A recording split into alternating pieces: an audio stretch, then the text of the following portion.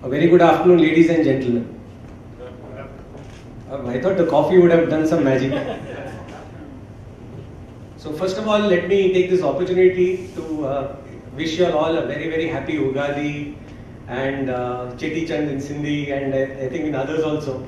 It's a new year for all, heralding spring and heralding changes and heralding uh, new wishes and uh, positive vibes for everybody.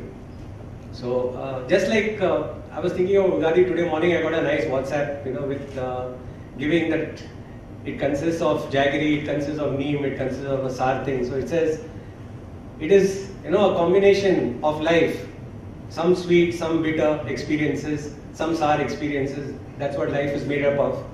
And that reminded me of our talk today, coming to the markets. That gives you the same thing, some profit, some losses, some neutral thing somewhere.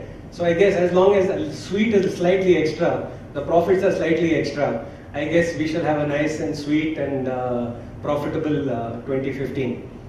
So with that, we'll come to the uh, main topic. That's the rise of algo trading. Now, what exactly is algo trading? First, before I uh, get into the main topic, I just want to know from you all, how many of you all actually day trade here? Okay.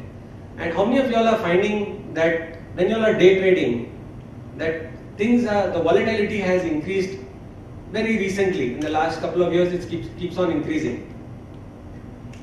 And how many of you all also feel that with the increasing volatility, uh, there is a perception that this cannot be human? So you're absolutely right. You know, we are today in a new, ushering a new technology age called the algo age. And uh, this is something I'll come to. First of all, let me get to the disclaimer. And the disclaimer is very clear. It's purely educational, whatever we are talking today. And uh, this all I have taken from my own uh, experience. I've distilled it all down. I've uh, done a lot of research on this. Whatever products I'll be talking about, it obviously doesn't mean that I vet those products and that uh, I recommend those products, but definitely I have uh, had some experience on those products, at least most of them. So uh, with that uh, disclaimer, let's uh, move ahead. So what exactly is an algorithm? So an algorithm is basically nothing but a set of rules. You know, we define rules for everything and algo is used for everything possible. We don't need to, uh, you know, it's a yes and no for true or false sort of situation. So when we determine, when we trade on the markets, we have our own internal set of rules. Is the stock moving up? When are you buying the stock normally? When there is certain momentum, right? Suddenly you see some volume picking up. Then your gut, gut feel triggers and you say, I see the volume build up. I see that the order book is changing. I'm finding a lot of activity happening. Chalo, let me buy, right? So that if I put it into algo sense, I am actually uh, just doing that on the fly without understanding. But there are certain rules to that. Rule number one, volume. Is the volume increasing? True or false? Like that. Rule number two, is the rate increasing? True or false? And then what is the percentage, etc., etc. So that is how an algorithm basically nothing but a set of instructions which you have to be giving, which will take your task of, you know, which will clearly define your task.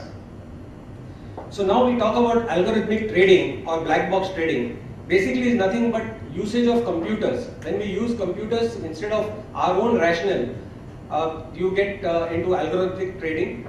We confuse algorithmic trading with automated trading. Now see, algorithmic trading basically is meant for actually execution part of it. We use it only for execution. How do we uh, use it for execution of the particular things where you know when we want to slice an order, we want to place an order, or we want to set a set of rules. So what tends to happen when we are defining rules based on timing, based on price, or on any other mathematical model, that becomes automated trading. But of course, SEBI has uh, taken both the definitions and uh, SEBI has put both the definitions together. What exactly are we seeing in are the benefits of this is that whatever trading is happening today is happening in no more milliseconds. Today we have gone to microseconds and in the US they have gone to nanoseconds. Milliseconds is 1000 of a second, micro is 1 millionth and nano is 1 billionth of a second. This is the sort of speed at which things are happening. As I take you through, you will understand how things have suddenly kept on changing. So trades are executed at the best price. You don't get to see those prices on your screen. How many of you all have had that experience? Before you all know the price, it's traded. And then the price updates.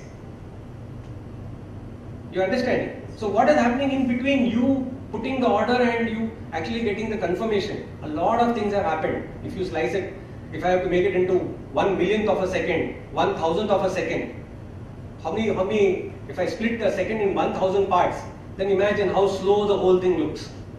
From you get putting the order to you getting the execution. At the same time, what tends to happen is there's also a reduction of manual errors. We have seen some of the errors which do happen by humans, especially. It can happen because there's no automation at one, one end, he's the one who's pressing it, he's holding a phone, he's taking the order and he's pressing with the other hand. There is a chance there's a room for error.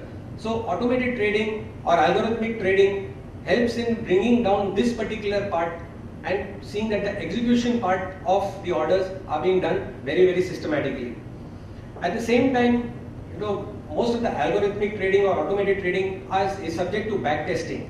So whatever strategy you have in your mind, you can actually go back, test it out over a couple of years, see how stable it is, is it generating alpha, is it giving you return over a period of time, and then you can uh, you know, put in for execution. That's not possible manually. Every day morning we come, we trade, right? And then we go back. At best, what do you do? Good traders do one thing. They go back, they check what what trades they have done for the day, and what are the reasons for them doing that trade, and what is the result of that trade. So that the next time, if they have to do the same trade, how can they enhance their profit? A, how they can reduce their losses. B. C. How could they avoid the trade in case it was not needed or it didn't result in any great thing. So a good trader will always go back at the end of the day, take all the trades he has done and he will actually sit down and uh, go one by one, okay, the rationale for this was based on this indicator or based on this signal, etc. I took a trade, or based on the market news, I took a trade, or based on whatever. And then what has been the result? Final result is also important. So backtesting of the algo is very easy here because and plus you get very very uh, you know there's no gut feel involved. No no it will work. There's nothing like that. When you actually do a backtest, you will find lot of times whenever you put in big amount of data, you'll find that the strategy which has been working for you now is actually giving losses in the long run. So it's not that simple. Only when you go and backtest you will come to know. So the other part is there's no psychology involved. There's no panic the dealer doesn't get panicky while pressing the order, etc. etc. Here it's a machine, the machine takes care of it. So it becomes very, very simple. Now the greatest portion of algorithmic trading is HFT or high frequency trading. And this comprises of more than 30 to 40 percent and in fact maybe as high as 60 to 70 percent as some people claim. The figures are not very very clear but in India they say that in the options market as high as 85 to 90 percent of the orders, that means because they keep on changing the orders, percentage of orders, not trade, are algorithmic. That's why if you are not trading on options especially, how many times have you been able to get that 5